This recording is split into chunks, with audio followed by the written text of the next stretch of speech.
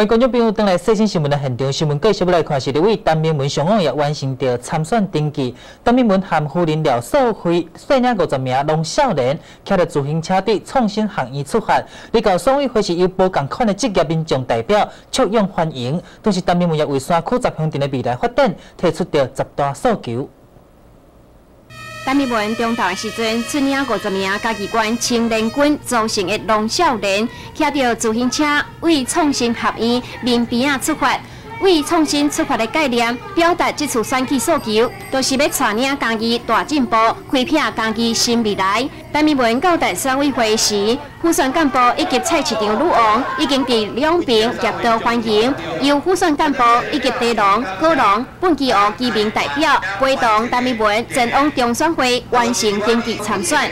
听到阿文要来登记啦吼，啊，咱的茶农代表，和咱的本基湖吼。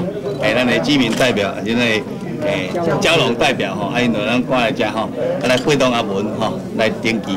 啊，阿文感觉讲吼，啊，做啊感感心啦吼，啊内心啊感到非常的温暖吼。阿文一定吼来当顺利去当选这立委员吼，咱绝对会继续吼来关心咱家己关吼，咱所有咱的农民吼，尤其咱的古农吼，尤其咱啊这个八八风灾的重建。咱奋起有的林班地的这边，吼啊，咱阿里山高山地，吼，咱未来品牌，吼的建立，吼，未来要怎么行销到全世界？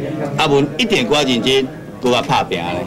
但民文第书时表示，这次的选举考核是爱台湾、挺台湾、爱家己，都是为着山区十乡镇的发展提出十大诉求。